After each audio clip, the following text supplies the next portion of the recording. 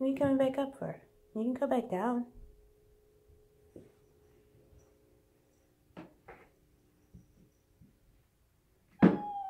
What is it? She'll open the door shortly. She does this to everyone because she always has to clean her room.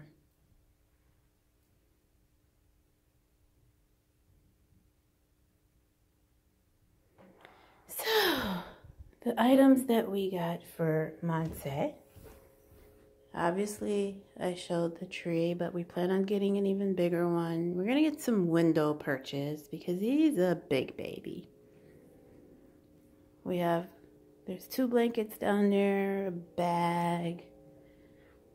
There's a blanket over here. There's still that bed, which I keep telling her I don't think he will fit inside, but she wants to keep it, so whatever. We put a blanket on the couch. Then we have our filtered water. So he continuously has nice clean water. He did immediately come home to eat. So there's still some wet food in there. Like I said before, we're going to be giving him wet foods and then transitioning him to raw meat. So then he can always have a choice between raw meat and wet food. Um, I have this wonderful little broom that is going to do wonders when there's hair all over my floor. It works like this. You see the little scrubby thingies.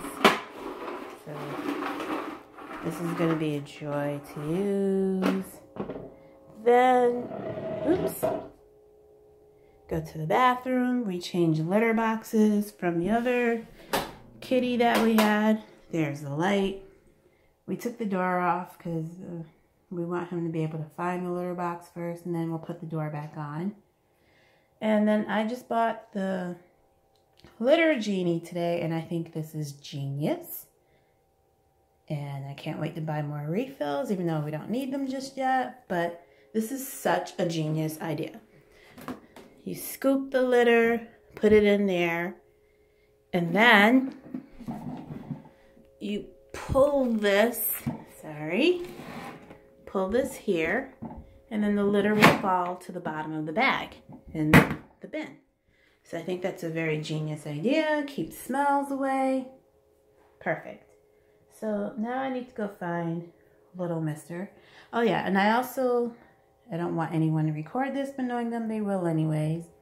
On this bathroom door, I'm going to install a walk-through door so I don't always have to leave the bathroom door open because leaving it open blocks the food pantry and the laundry room door. So I plan on installing a door once one of my coworkers brings the tools that I need for installation. I think that's about it. Oh yeah, and of course the wonderful mat that I've been I've already seen at Monse's foster mom's house that works really well, so I'm glad we do have this mat. So that's it for now. I'm going to go find my baby. Bye!